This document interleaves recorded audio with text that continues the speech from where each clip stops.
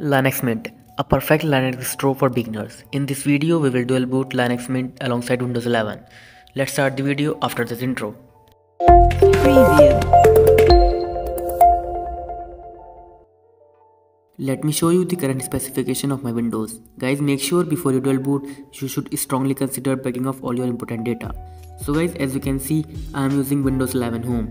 Version is 2.2 and the update is 2.10 2022.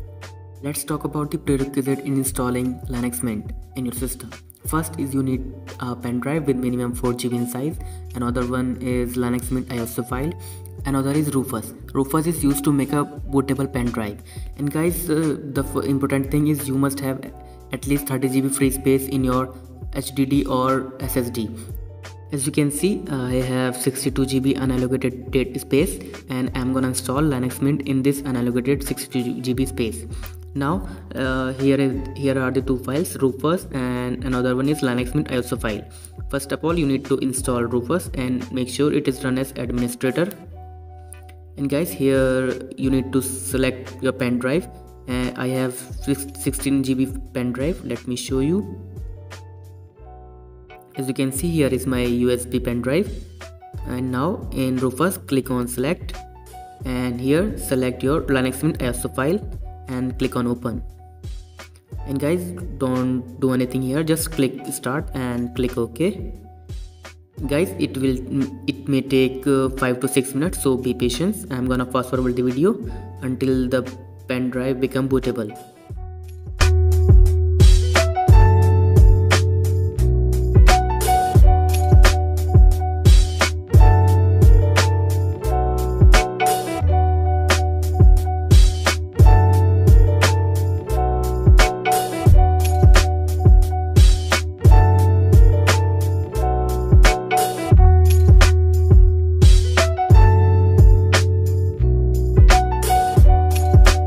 now we have successfully created linux mint usb as you can see the process is successfully completed.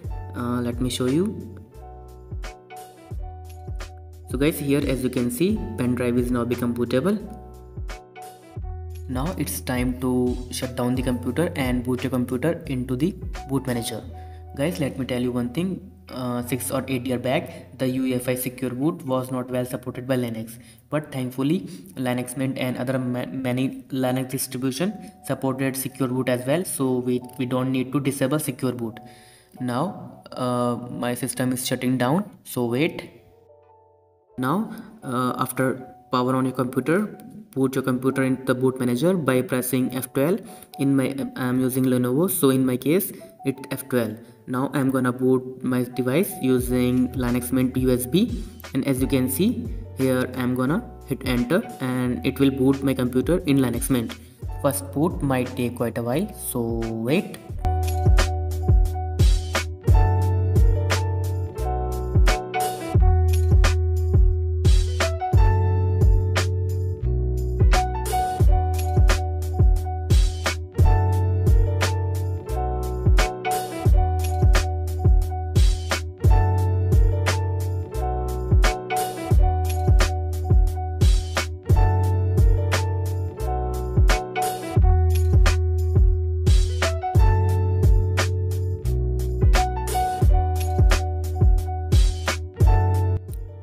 System is now boots up. Let's start the installation procedure. First few steps are simple. You choose language and keyboard layout. Keep pressing continue. In the installation type, select something else and click on continue. It will take you to the partitioning screen. Remember you had created some free space before it. So we are gonna create uh, root file and swap file and FAT32 file which is uh, boot file in in that free partition so uh, as you can see here are my partitions. Uh, let me show you my free space. Guys first of all you need to select your ssd or where you want to install your linux mint or where you you have created free space. So guys as you can see here is my free space. Uh, i have created this earlier. So let me open it in gparted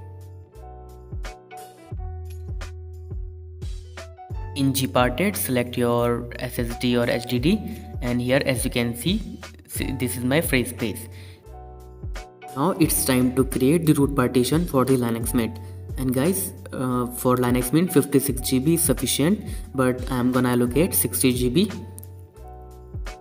let me type 60000 mb and guys make sure uh, use as this ext4 and mount point is root slash slash and click on ok and it will allocate 60 GB to this root partition. Now it's time to create swap partition. Swap partition is act as a virtual RAM. Uh, guys if you have 4 GB of RAM then you need to create 8 GB or you can create 4 GB I have 8 GB of RAM. I'm gonna allocate 4 GB to make a swappable memory and select this as swap area. Now click on ok. So both the partition are now created. First is root partition and another is swap partition. You also need to create another partition which is boot slash efi partition. Uh, the size of this partition is about 500 or 600 mb and uh, the type of this uh, partition is fat32 uh, let me sh share an image with you. And guys you need to create this partition too. Now let me show you my partition. So guys as you can see uh, here is my fat32 partition. So i'm not gonna create this partition again. Now you need to select this partition here. Device for bootloader installation. And here i'm gonna select p4 as you can see FAT32 partition is P4 now it's time to install Linux Mint so I'm gonna click on install now. Well you have almost won the battle. You can smell victory now. Select a time zone when asked and next you will be asked to enter username hostname and password now it's just matter of waiting. It should take 8 to 10 minutes to complete the installation. So be patient. I'm gonna fast forward the video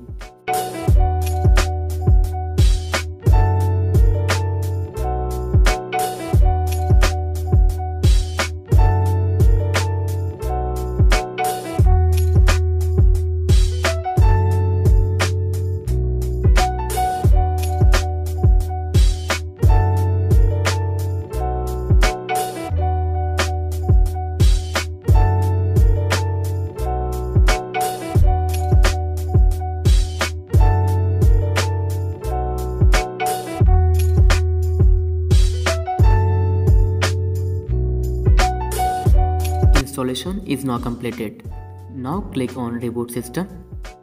Uh, you will be asked to remove the USB and you can remove the disk at this stage without worrying.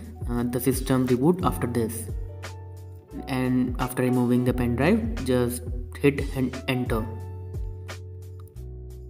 And guys keep pressing F2 or uh, your BIOS key. In my case it's F2 now go to boot. And guys make sure this ubuntu must at the top. And if this is not on the top then you can press f6 to move this on the top. And press f10 to save the changes. And hit enter. And guys it will boot the system into the linux mint bootloader. So guys as you can see here linux mint windows and pop os guys i am using these three operating systems so first of all i'm gonna boot in linux mint Guys, first boot might take quite a while, but don't worry, it's normal.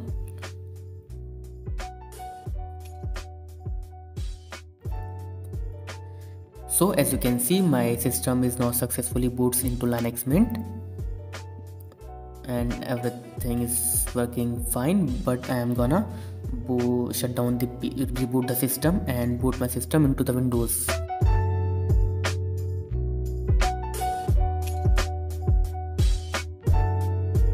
Now this time uh, select windows and hit enter.